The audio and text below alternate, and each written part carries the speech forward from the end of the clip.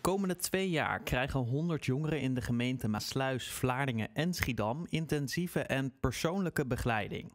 Het gaat met name om jongeren die zijn gestopt met school zonder diploma op zak of jongeren die worstelen met problemen zoals een moeilijke thuissituatie of schulden. Het traject van Next Society is geslaagd als minimaal 70 jongeren een baan hebben gevonden. Sommige jongeren zijn niet gemaakt voor school en kunnen veel beter werken. Soms heb je gedoe in je leven waardoor het moeilijk is om te concentreren op school. Soms heb je een hele domme studiekeuze gemaakt en wil je daarin wisselen.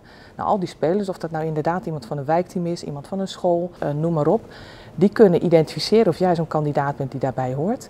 En die kunnen voorstellen of dit traject bij je past. Uh, waar ik het meeste tegenaan loop is, um, ik ben niet zelfverzekerd genoeg om echt uh, antwoord te geven op een, op een sollicitatiegesprek. Ik stotter veel.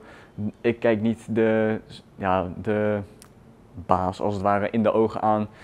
En ik kom niet echt goed uit mijn woorden dan. Dat, dat is waar ik het meest tegenaan loop. Problematiek is heel divers. Het, het, is aan de ene kant uh, niet, niet weten uh, wat wil ik nou precies in het leven.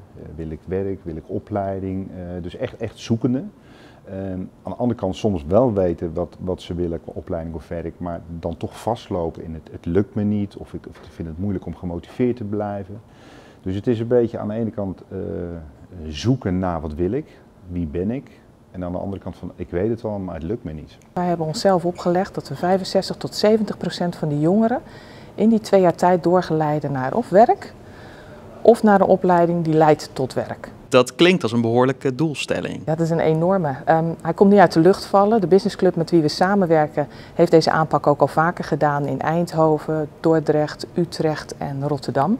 En daar komen deze getallen uit voort. Die hebben we wel naar boven afgerond, omdat wij stellen dat door onze samenwerking moet het mogelijk zijn om mooiere dingen te doen. Nou, wat ik concreet uh, hoop te bereiken is dat ze, dat ze hun passie, hun droom gaan leven en dat ze daar ook gewoon een inkomen uit kunnen halen. Ik wil later een boekenkast hebben met mijn eigen geschreven boeken erin. Dus dan heb ik een boekenreeks en dan als ik in het, later in het bejaardentehuis zit, dan heb ik iets om tegenaan te kijken waarvan ik dan echt kan zeggen van dit heb ik gedaan. Dit heb ik dan voor, me, voor elkaar gekregen.